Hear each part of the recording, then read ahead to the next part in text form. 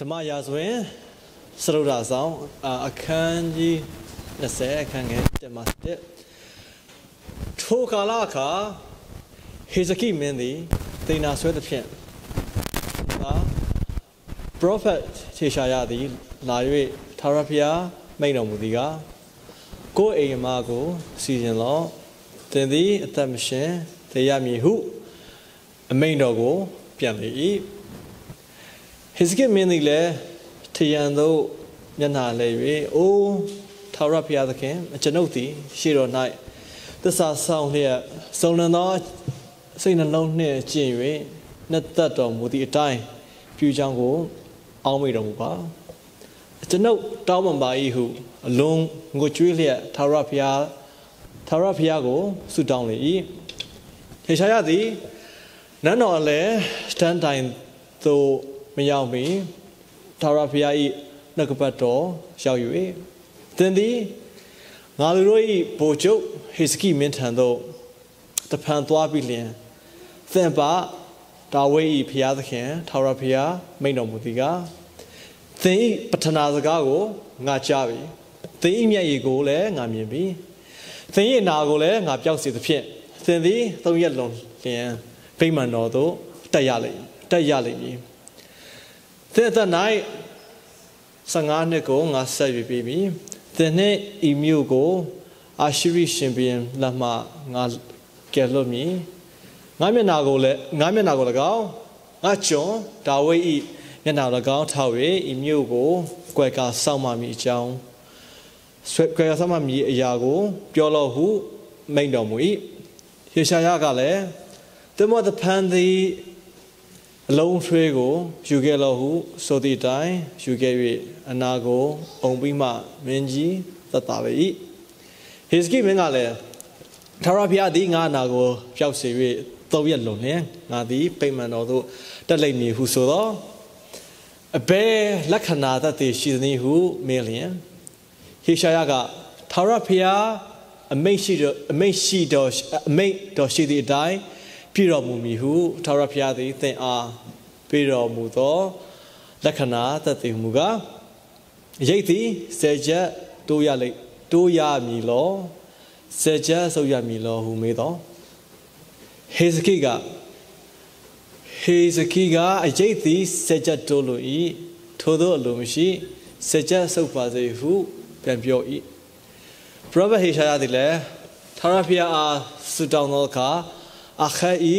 နေရနာယီပေါ်မှာဆယ်ချက်ရွေပြီးတော့အရေးကိုဆယ်ချက်ပြန်စီတော်မူ၏ကျွန်တော်တို့ခါအင်္ဂလိပ်လိုဖတ်ပါမယ် Second book of the Kings verse 20 uh, chapter 20 verse 1 to 11 in those days in those days Hezekiah became ill and was at the point of death the prophet Isaiah son of Amos went to him and said, This is what the Lord says Put your house in order. Because you are going to die, you will not recover. Hezekiah turned his face to the wall and prayed to the Lord. Remember, Lord, how I have walked before you faithfully and with wholehearted and devotion and have done what is good in your eyes. And Hezekiah wept bitterly. Before Isaiah had left the middle court, and the word of the Lord came to him Go back and tell Hezekiah, the ruler of my people, this is what the Lord, the God of your father David, says I have here your prayer and seen your tears. I will, heal, I will heal you. On the third day from now, I will go up to the temple of the Lord. And I will add 15 years to your life. And I will deliver you and this city from the hand of the king of Assyria. I will defend the city for my sake and for the sake of my servant David. And then Isaiah said, Prepare a prudence of thanks. They will do and apply it to the boil, and he recovered. Hezekiah then asked Isaiah, Isaiah, what will the sign that the Lord will heal me, and I will go up to the temple and the Lord on the third day from now? Isaiah answered, The Lord is, uh, this is the Lord's sign to you. The Lord will do what he has promised, and shall the shadow go forward ten steps or shall it go back 10 steps? It is a simple matter of the shadow to go forward 10 steps, said Isaiah. Hezekiah, and rather have to go back 10 steps. And then the prophet Isaiah called on the Lord, and the Lord made the shadow go back the 10 step. It has gone down the stairway of Isaac. ကျောင်းသားကိုဖျားခင်ကောင်းကြီးပေးပါစေမင်္ဂလာပါအဘုရားသခင်ဂုဏ်ကျေးဇူးတော်ပေါင်းကိုချီးမွမ်းပါတယ်လို့ချိုလဲမနေ့ကတော့ပင်ပန်းသွားတော့ဒီနေ့မော်ဒီပေါ့နော်မော်ဒီယူကြတဲ့လူတွေလည်းရှိတယ်ဒါလည်းတမန်ကျမ်းစာနဲ့ညီပါတယ်လို့ဘာကြောင့်လဲဆိုတော့ Sabbath ဥပုပ်နေ့ဟာ day of rest ခရစ်တော်လည်း6ရက်အလုပ်လုပ်ပြီးတော့9ရက်နားတယ်ဆိုတော့သူတို့လည်းရောပြီးတော့နားကြတာပေါ့နော်ဒီနေ့ပြင်ပန်းတော်လည်းပဲရောက်လာတဲ့သားတွေသမီးတွေအတွက်လည်းကျေးဇူးတင်တယ်။ဘာကြောင့်လဲဆိုတော့ကျွန်တော်တို့ကတမန်ဘုရားသခင်ကို မျောလင့်တော်သူတို့သည်တဲ့အားပြည့်ကြလိမ့်မည်တဲ့ပြေးတော်လည်းမပင်ပန်း ခီးသွားသောအခါမမောရကြပါတော့ဒီနေ့ဘုရားသခင်ကိုလာပြီးတော့ who wait on the lord ပေါ့နော်ထာဝရဘုရားကိုမျောလင်းနဲ့ကျွန်တော်တို့တွေဒီနေ့ခွန်အားပြေဝပြီးမှဤနေရာမှာပြန်ဖို့ဖြစ်ပါတယ်ဒီတရားဟောချက်ကအရက်စကားနဲ့ပြောရင်ဟိုဥထားတာကြာပြီပေါ့နော်ဘုရားသခင်ကျွန်တော်တို့ဖွင့်ပြတယ်မူလရဲ့ခေါင်းစဉ်ကတော့ Jonathan sake လို့ခေါ်တယ် ယောရှုကြောင့်ဆိုတဲ့ခေါင်းစဉ်ဖြစ်ပါတယ်ဒါပေမဲ့ဒီနေ့တော့ကျွန်တော်ကခေါင်းစဉ်ကိုနည်းနည်းလေးပြောင်းထားတယ်ဘာလဲဆိုရင်ထောက်ထားစရာသူ့မျက်နှာအင်္ဂလိပ်လို for the sake of for the sake of my death death death ပေါ့နော် Jonathan ကိုကျွန်တော်ဖြုတ်ထားတယ်အတိတ်ကဒီ death death death ထဲမှာကျွန်တော်တို့နာမည်ထည့်နိုင်တယ် အခြားနာမည်တွေလည်းထည့်နိုင်တယ်ဒါတို့တချို့ကျွန်တော် leadership training မှာလည်းကျွန်တော်ပြောသွားတယ်သို့တော့ leadership မှာကတော့ Hezekiah's prayer prayer of Hezekiah of ကျွန်တော်တို့ first and pray မှာပြောပါတယ် Hezekiah မင်းကြီးရဲ့ဆုတောင်းခြင်းဆိုတာကိုကျွန်တော်တို့ကအာယုံစိုက်ထားတယ် Hezekiah ကိုဖျားသခင်က တင်သာဆွဲတဲ့အခါမှာတင်သာဆွဲလို့အေးအေးစေးစေးလေးမဟုတ်မင်းနေမှာဆိုလို့မတိမှာဆိုလို့ပရောဖက်ဟေရှာယကိုခေါ်ပြီးတော့မှမင်းဧကမုတ်ချသင်ရမယ်ဆိုပြီးတော့မှထပ်ပြောတယ်ဘုရားသခင်ကလည်းအဲ့တော့ဟိုကတရားမှာကိုတီးပြီးတော့ကြောက်ပါတယ်ဆိုတာမှ confirmation ပေါ့နော်ဘုရားသခင်ရဲ့တမန်တော်ကလာပြောတော့တော်တော်ကို ညှိုးငယ်သွားတယ်စိတ်အားလျော့သွားတယ်အဲ့တော့ထယံကိုတဲ့မျက်နှာအပ်ပြီးတော့တဲ့ပြင်းပြစွာငိုကြွေးတယ်မျက်ရည်ကျပြီးတော့မှငိုကြွေးတယ်ငိုကြွေးုံနဲ့မကဘူးသူဘုရားကိုတောင်းပန်တယ်ကျွန်တော်ဘုရားရဲ့အလိုတော်နဲ့အညီအသက်ရှင်ခဲ့ပါတယ်ဆိုပြီးတော့မှသူပြောတယ်ပြောတဲ့အခါဘုရားရဲ့စိတ်တော်နဲ့တုတ်ထိပြီးတော့မှ I've heard your prayer and seen your tears မင်းတောင်းတဲ့ဆုငါကြားတယ်မင်းမျက်ရည်ကိုလည်းငါမြင်တယ် fake tears မဟုတ်ဘူးပေါ့နော်တကယ်ပဲနှလုံးသားထဲကနေပါတဲ့မျက်ရည်ကျပြီးတော့ဆုတောင်းချက်ကိုဘုရားသခင်နားညောင်းပြီးတော့ဟေရှာယနတ်တော့အပြင်းအောင်မရောက်သေးဘူးချက်ချင်းပဲဘုရားโอเคပြန်လာပြန်လာသွားပြန်ပြောလိုက် Hezekiah Ezekiel grace period 15 years 15နှစ်ဘုရားကခွင့်ပေးမယ်အဲ့ဒါပြောလဲပြီးရောအနောက်မှာဆက်ပြောတယ် okay မင်းမင်းနေမကအောင်နော်မင်းရဲ့အခုတိုင်းပြည်ဟာရန်သူတွေဝိုင်းပြီးတော့မှနိုင်ငံရေးစီရေးရဆုံးရှုံးတော့မယ်အဲ့မှာဆက်ပြောတဲ့စကား I will defend this city for my sake and for the sake of my servant David လို့တော့လေဒီဒီမင်းတို့ငါ15နှစ်ရှင်ခွင့်ပေးတာလေမကဘဲနဲ့မင်းအုပ်ချုပ်နေတဲ့ဒီမြို့တော်လဲရန်သူလက်ကနေငါကဲတင်မှာကားခွဲမှာဟာတဲ့ငါအတွက်နဲ့ငါကငါထောက်ထားရုံလားမကဘူးတဲ့ငါရဲ့ကျွန်းဒါဝိဒ်ကမျက်နာကိုငါထောက်ထားပြီးတော့မှမင်းကိုကယ်မှာလို့သုံးပါတယ်ကျွန်တော်တို့အဲ့ဒီ first and prayer မှာကျွန်တော်တို့ဒီအကြောင်းကိုစင်ကျင်ပြီးတဲ့အခါမှာကျွန်တော်ကကျမ်းချက်တစ်ချက်ဆက်ပြီးတော့ဖတ်ပြတယ်ဒီနေ့ဖတ်တဲ့ထဲမှာတော့မပါဘူး second chronicle 32မှာ second chronicle 32မှာဟေဇကိရလည်းဟေဇကိပဲသူအေးစစ်စစ်မနေဘူးသူ15နှစ်ရှင်ခွင့်ရတဲ့အခါမှာတဲ့အငယ်24မှာထိုကာလ အခါတဲ့ဟေဇကိမင်းသည်သေနာဆွဲ၍ထောင်ရဖျားဆုတောင်းသဖြင့်ဗျာဒိတ်တော်နှင့်ထူးဆန်းသောတကိုးတော်ကိုခံရ၏ပြောချင်တာ15နှစ်သူခံစားတို့ရာတွင်တဲ့ဟေဇကိသည်မိမိခံရသောကျေးဇူးတော်နှင့်အထိုက်အလျောက်မကျင့်ထောင်လွှားသောစိတ်ရှိ၏တဲ့ထို့ကြောင့်သူ၌၎င်းယူဒပြည်နှင့်ယေရုရှလင်မြို့၌၎င်းအမျက်တော်ထွက်လေ၏တဲ့အလောက်ကျေးဇူးတော်ခံစားတော်အေးစီစီ ဖះကိုချစ်ပြီးတော့ကြောက်ပြီးတော့အသက်မရှင်မဲနဲ့နည်းနည်းဖះမကြိုက်တဲ့အသက်တာနဲ့သူအသက်ရှင်ပြီးတော့ထောင်လွှားတဲ့စိတ်ဝင်တယ်တဲ့တို့ရတွင်နဲ့မိမိစိတ်ထောင်လွှားသောအပြစ်ကြောင့်ယေရုရှလင်မြို့သားတို့နှင့်တကွကိုကိုကိုနှိမ့်ချသောကြောင်းလေချက်ချင်းပဲယူနောင်တရတာငါတော့မှားသွားပြီယူနောင်တရတယ်လက်ထက်တော်ကာလတွင်နဲ့ထောင်ရဖျားကြီးအမျက်တော်မသိရောက် သူအသက်ရှင်နေသွေးဖျားစိတ်တော်ဆိုးသွားတယ်ဒါပေမဲ့ဟေဇဟေဇကာယအသက်ရှင်နေသွေးဖျားရဲ့အမျက်ကမသိရောက်ဖ ೇನೆ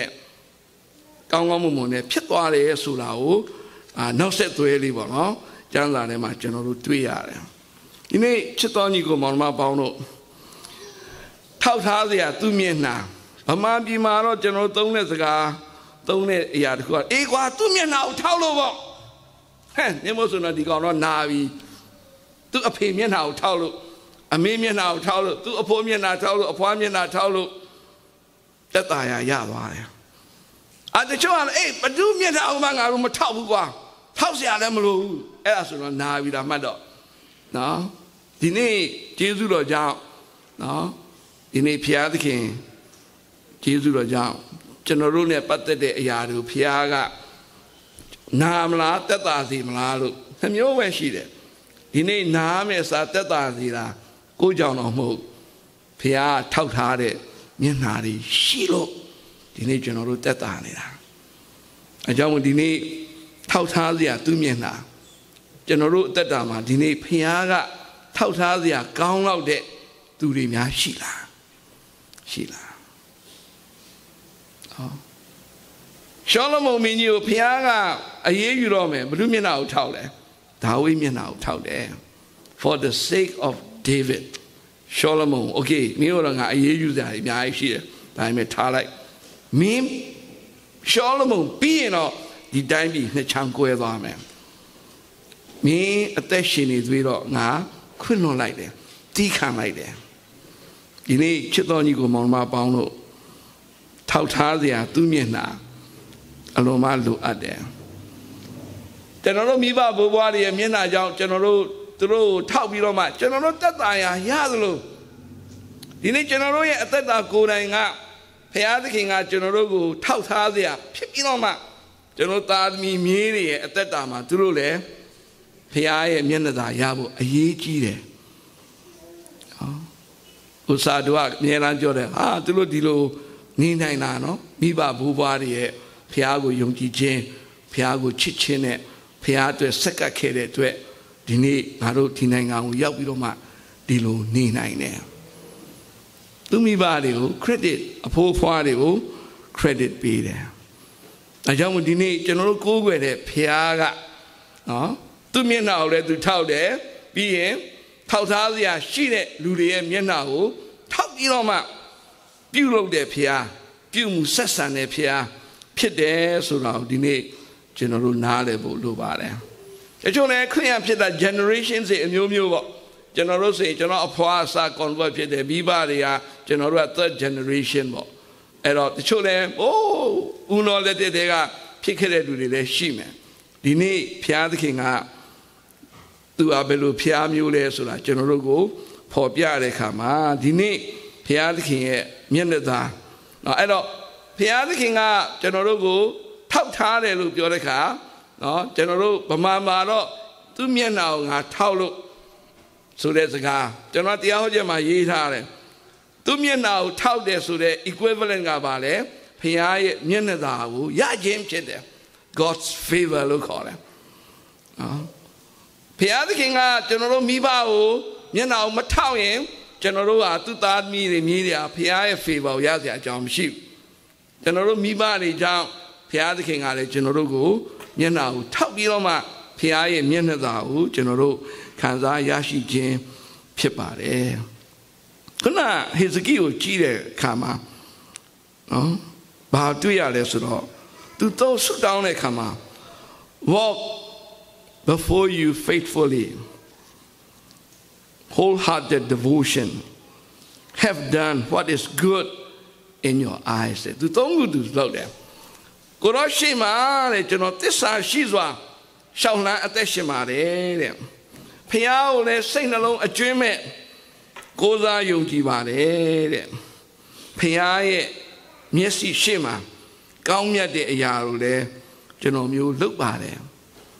အနေဒီနေ့ဒီသုံးခုကိုဘုရားသခင်ကထောက်ပြီးတော့မှဒီနေ့သူ့ကို15နှစ်အသက်ရှင်ခွင့်ပေးခြင်း ဖြစ်ပါတယ်ဒါဆိုကျွန်တော်စဉ်းစားရတယ်ဘုရားသခင်ကဒါဝိမျက်နှာကိုဘာလို့ထောက်လဲဆိုတဲ့မိကုံဖြစ်လာတယ်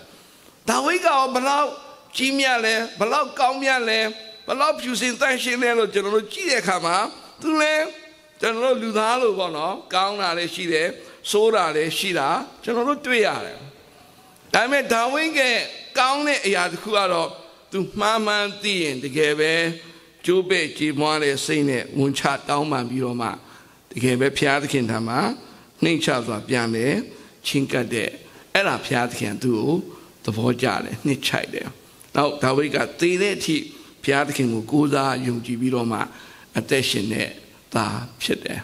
တချို့ကအစကောင်းတယ်အလယ်ကောင်းတယ်အဆုံးမကောင်းအတချို့ကအစမကောင်းဘူးအလယ်ကောင်းတယ်အဆုံးပြောင်းကောင်းတချို့ကတော့အစလည်းဆုံးကောင်းတယ်ပုံစံတွေအမျိုးမျိုး ရှိပါတယ်အဲ့တော့ဒီနေ့ဘုရားသခင်ဘာကြောင့်အဲ့ဒီလူတွေရဲ့မျက်နှာကိုထောက်တယ်လဲလို့ကျွန်တော်တို့ကြည့်တဲ့အခါအဲ့ဒီလူတွေကဘုရားကိုချစ်တဲ့လူတွေဖြစ်တယ်အဲ့ဒီလူတွေကဘုရားကိုယုံကြည်ကိုးစားတဲ့လူတွေလည်းဖြစ်တယ်အဲ့ဒီလူတွေကဘုရားသခင်ရဲ့စကားကိုနားထောင်တဲ့လူတွေလည်းဖြစ်တယ်အဲ့ဒီလူတွေဟာဘုရားသခင်အလိုတော်နဲ့အညီအသက်ရှင်ပြီးတော့မှဘုရားသခင်အတွက်စက္ကန့်လှုပ်ဆောင်တဲ့လူတွေလည်းဖြစ်တယ် အဲ့ဒါတွေကြောင့်ဘုရားသခင်ဟာဒီသားတွေသမီးတွေကိုချစ်ပြီးတော့မှဒီသားတွေသမီးတွေရဲ့မျက်နှာကိုထောက်ပြီးတော့မှဒီနေ့ကျွန်တော်တို့ခံရမယ့်အရာတွေကိုကျွန်တော်တို့မခံစားဘဲနဲ့ဒီနေ့သက်သာခွင့်ဘုရားသခင်ပေးတယ်ဆိုတာဒီနေ့ကျွန်တော်တို့နားလည်ဖို့လိုအပ်ပါတယ်ဘုရားသခင်ကဟေဇကိကိုငါကြောင့်နဲ့ငါအတွက်နဲ့မင်းရဲ့ အလားတကယ်တော့အဖေမဟုတ်ပါအဖိုးပေါ့နော်ဒါပေမဲ့ပြောပြလိုက်တယ်ငါငါရဲ့ကျွန်ဒါဝိရဲ့ for the sake of myself and for the sake of King David my servant David မျိုးငါချမ်းသာပေးလိုက်တယ်အဲ့တော့ဒါဝိကိုကျွန်တော်ကကြည့်တဲ့အခါ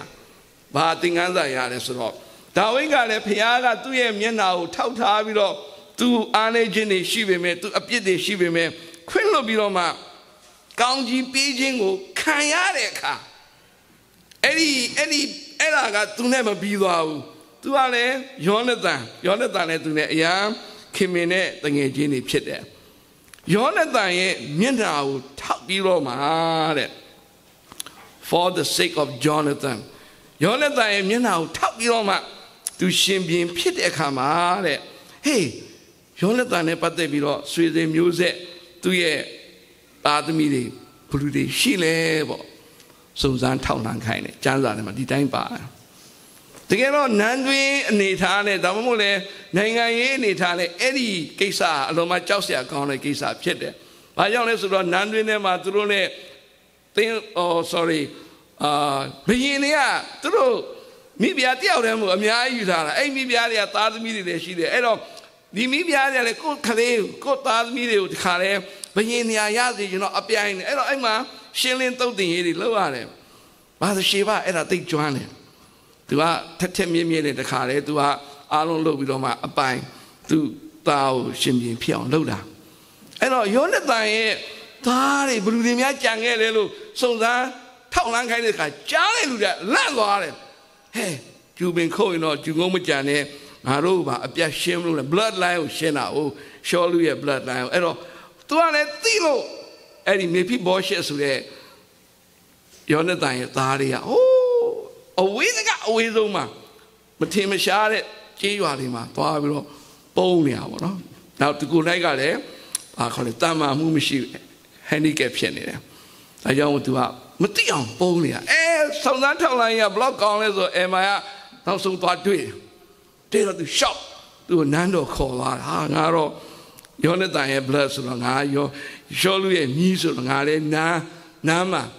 နားဆန်နိုင်တဲ့အခွင့်ရှိတယ်ဒါကြောင့်ငါ့ကိုများရှင်းမလို့လားမသိဘူးဒါပေမဲ့ဒါဝိဒ်ကမဟုတ်ဘူးတဲ့မင်းအဖေရဲ့ကြောင့်မျက်နှာကြောင့်ငါမင်းကိုချီးမြှင့်ရတယ်ငါစားတဲ့စပွဲမှာမင်းထိုင်စားမင်းကငါသားလို့ပဲ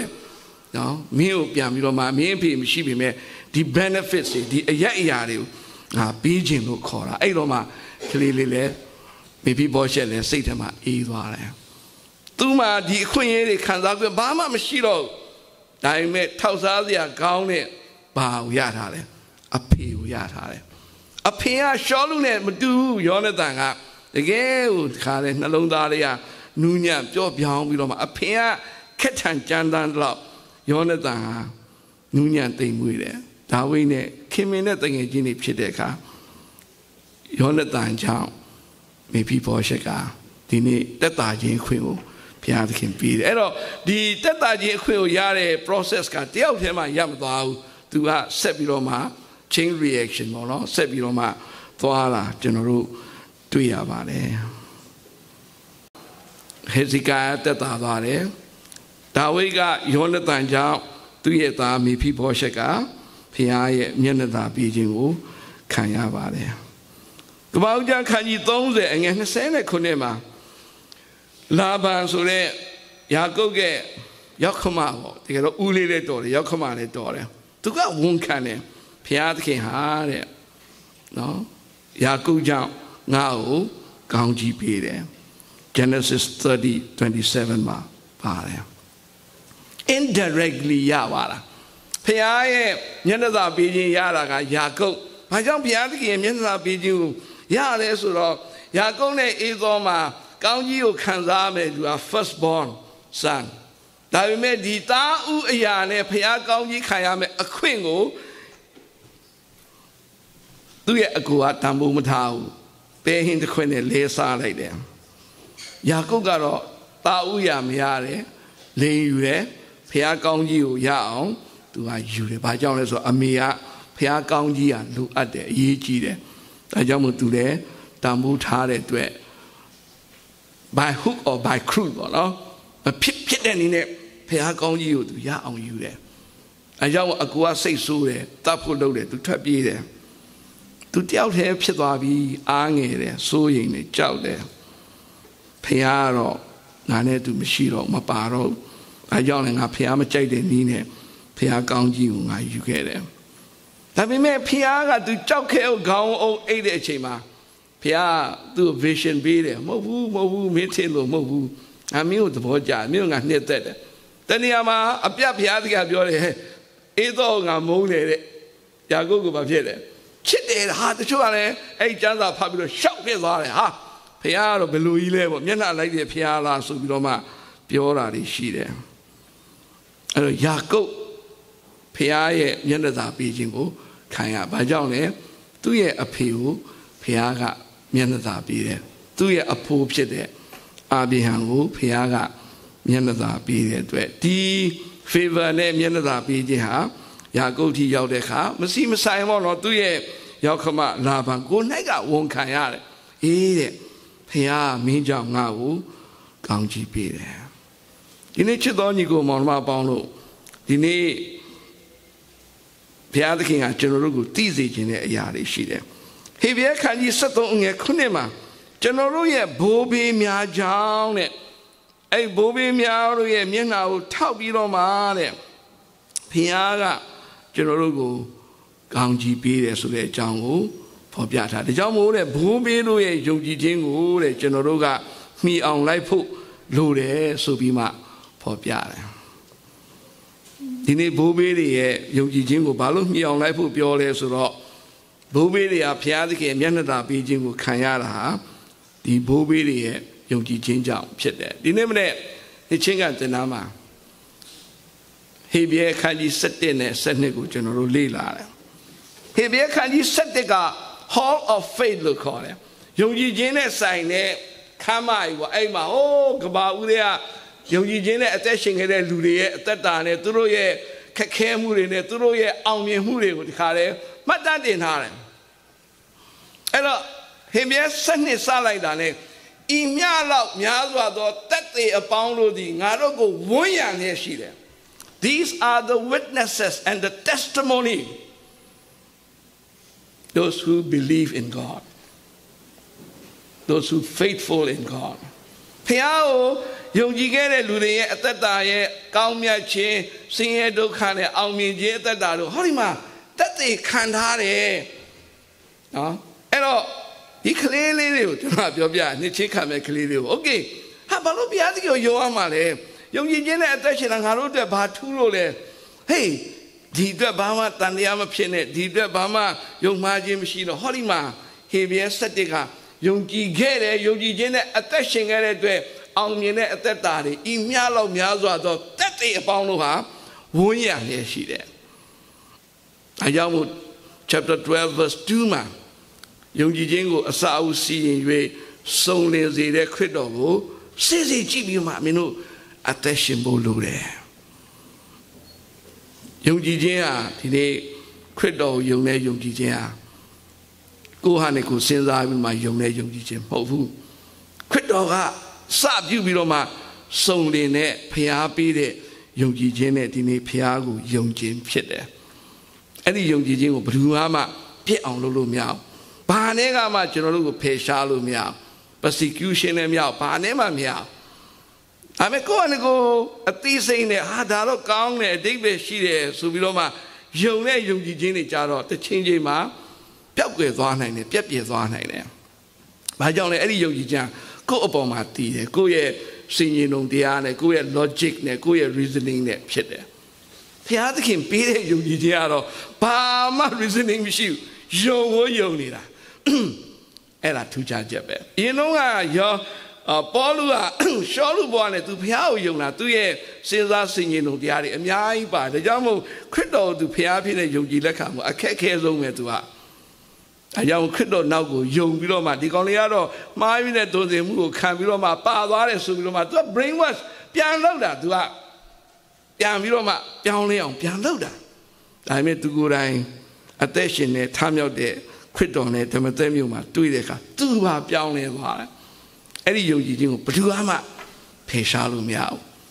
စီဇာလည်းဖယ်ရှားလို့မရဘူးခေါင်းဖြတ်လိုက်ဒါပဲပွဲပြီးသွားခေါင်းဖြတ်လို့ဖះကိုယုံကြည်ခြင်းပျောက်သွားဘူးယုံကြည်ခြင်းကနှလုံးသားနဲ့ယုံကြည်တဲ့အတွက်သူသက်ဆုံးတိုင်တည်ကြည်ခဲ့တဲ့ယုံကြည်ခြင်းဖြစ်ပါတယ်ဒါကြောင့်မို့ဒီနေ့ကျွန်တော်တို့ရှေ့ကဘိုးဘွေးတွေသူတို့ရဲ့ဖះကိုယုံကြည်ခြင်းချစ်ခြင်းအဖြစ် ဖះရဲ့မျက်နှာသာကိုရပြီးတော့ဒီနေ့ကျွန်တော်တို့တွေခံစားရမယ်အပြစ်ဒဏ်တို့စီရင်ခြင်းတွေဟာလွတ်မြောက်ပြီးတော့မှတက်တာရာရလို့ကျွန်တော်တို့ကဒီခွင့်ရေးဒီ benefit တွေကိုကျွန်တော်တို့ခံစားပြီးတော့ကျွန်တော်တို့ကိုယ်တိုင်အသက်တာဖခင်ထောက်ထားစရာကောင်းတဲ့အသက်တာမျိုးဖြစ်ဖို့ဒီနေ့ကျွန်တော်တို့ကလိုအပ်နေပါတယ်အရင်တော့ဘိုးဘေးတွေဟောပဲကျွန်တော်တို့က follow လေးလိုက်ပြီးတော့မှခံစားပြီးတော့မှပြီးသွားလို့မရဘူး။ဘာကြောင့်ဆိုကျွန်တော်ပြီးခဲ့တဲ့ဘက်ကပြောပြီးပြီ။ ဖခင်သခင်ကကျွန်တော်တို့ရဲ့အဖဖခင်သခင်ဖြစ်တယ်။အဖိုးဖျားသခင်ဆိုတာမရှိဘူးဖျားသခင်ရှိမှသားသမီးပဲရှိတယ်မြင်းမြစ်ဆိုတာမရှိဘူးအဲ့တော့ဒီနေ့ကျွန်တော်သားတွေသမီးတွေရဲ့အသက်တာမှာဆက်လက်ပြီးတော့မှကောင်းကြီးခံစားရစေခြင်းကျွန်တော်တို့ကိုယ်တိုင်ကဖျားသခင်ကကျွန်တော်တို့ထောက်ထားစရာကောင်းတဲ့မျက်နှာဖြစ်ဖို့အလုံးမလိုအပ်တယ်အလုံးမအရေးကြီးတယ်အဲ့တော့ကျွန်တော်တို့အသက်ရှင်ဖို့ပုံစံ အရေးကြီးတယ်ဒီနေ့တော့ကျေးဇူးတော်ချီးမွမ်းမှုလိုပါတယ်เนาะဒီနေ့ထောက်ထားစရာကောင်းတဲ့မျက်နှာရှိတဲ့သူတွေကျွန်တော်တို့အသက်တာမှာမြောက်များစွာဘုရားသခင်ပေးထားတဲ့အတွက် ယေရှုတော်ဂုဏ်တော်ပေါင်းကိုချီးမွမ်းဖို့ဖြစ်ပါတယ်နောက်ဆုံးနဲ့အရေးကြီးဆုံးထောက်ထားစရာကောင်းတဲ့အရာနော် Ephesians chapter 4 verse 32ဖြစ်ပါတယ်အေဖက်ခန်းကြီး၄ အငယ်30နဲ့နှစ်ဖြစ်ပါတယ်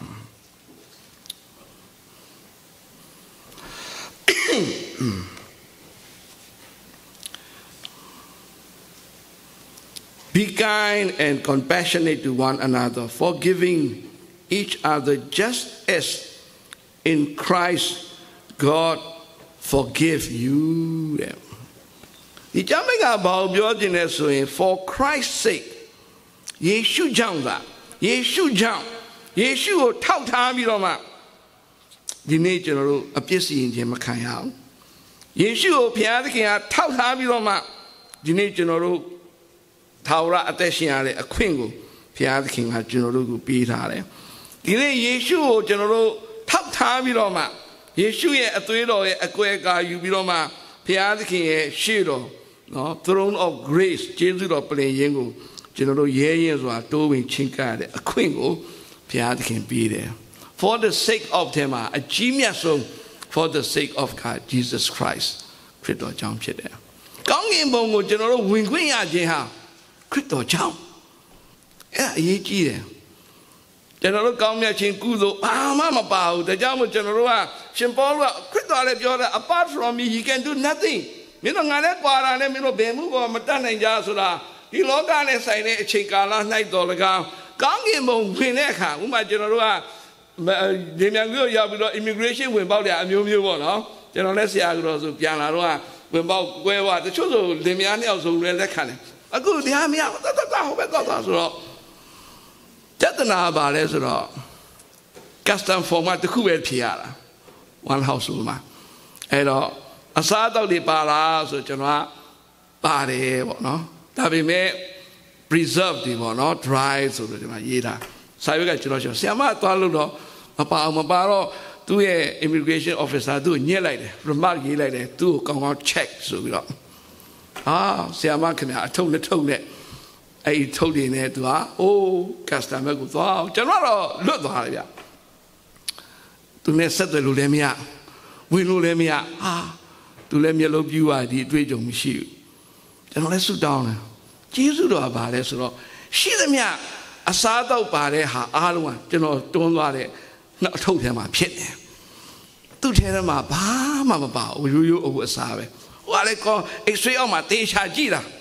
ကြည့်တယ်ကြည့်ရောဘာမှမမတွေ့တော့သူတို့ဘာမှလုပ်လို့မရဘူးကျွန်တော်ဇနီးဟာအေးစစ်စစ်လေးဘာဖြစ်လဲပြန်ပြီးတော့ထွက်အခက်ခဲရတော့သူတက်တာသူမလို့မရဘူးတင်လို့မရဘူးအဲ့ဒီ X-ray ဆက်ဒါပေမဲ့ဝိုင်းကူတဲ့လူတွေပေါ်လာသူကပြောတယ်ရှင်နောက်ကျမကိုအဲ့လိုဘယ်တော့မှ ပြစ်မထားခဲ့နဲ့ပေါ့နော်ဆိုပြီးတော့ warning ပေးစရာပေးလိုက်တာကျွန်တော်ခံရအဲ့တော့ဆိုလိုချင်တဲ့အတိတ်ပဲဘာလဲဆိုတော့ကွဲကွာသွားတဲ့ပြဿနာတက်သွားတယ်အဲ့တော့ပေါလုကလည်းကြောင့်မပြောတာ nothing can separate us from the love of God ငါတို့ ਨੇ ဖခင်နဲ့ချစ်ချင်းမြတ်တာဘယ်သူမှခွဲလို့မရအသက်ရှင်တော့လည်းငါတို့ ਨੇ ဖခင်နဲ့အတူတူပဲတင်ရင်လည်းကောင်းကင်ဘုံဝင်တော့လည်းအတူတူပဲအဲ့တော့ကောင်းကင်ဘုံဝင်တဲ့အခါမှာတဲ့ဖခင်သခင်က ဝင်ခွင့်ပေးဖို့ကြည့်တဲ့အခါကျွန်တော်တို့ကမမြင်ဘူးတဲ့ကျွန်တော်တို့နေရာမှာဘုရုပဲတွေ့သားတော်ယေရှုပဲတွေ့တာဒါကြောင့်မို့ကျွန်တော်တို့လက်ခံလိုက်တာကျွန်တော်နဲ့ယေရှုနဲ့တိချာဆိုတော့ကျွန်တော်ဘာမှဝင်ခွင့်ရစရာအကြောင်းမရှိဘူးအကြမ်းမဂလေရှန်2:20မှာငါဒီခရစ်တော်နဲ့သူကားတိုင်းမှာတည်ပြီးတဲ့ထို့သောဆိုတော့ငါဒီကိုယ်တိုင်မရှိငါထဲမှာဘုရုရှင်လာတယ် Christ live in me no longer I but Christ အဲ့ဒါပဲတ ချို့ကနားမလဲဘာခရစ်တော်ငါထဲမှာရှိပြီးတော့မှရှင်နေဆိုတဲ့ကောင်းမြတ်ခြင်းအကျိုးကျေးဇူးဟာဒီအသက်ရှင်လုံးလည်းရှိတယ်တေရောမှဘုသဘောပေါက်သွားတာဘာမှဗီဇာဘာမှမလိုဘလူးတွေ့လိုက်တာနဲ့လေကျွန်တော်တို့ကြည့်လိုက်ရင်ဘုရားသခင်ဟာသားတော်ကိုတွေ့လိုက်တာသားတော်ကတော့ဒါသူအိမ်မဲသူနန်းတော်ပဲဘာမှသူ့ကိုဝင်ခွင့်ပေးစရာအကြောင်းမရှိဘူးဒါကြောင့်မို့ခရစ်တော်ယုံနေဆိုတာအဲ့ဒါပဲခရစ်တော်ကျွန်တော်တို့နဲ့အတူရှိပြီးမှ ကျွန်တော်တို့ခရစ်တော်ကျွန်တော်တို့ထဲမှာအသက်ရှင်တဲ့အခါမှာ for Christ's sake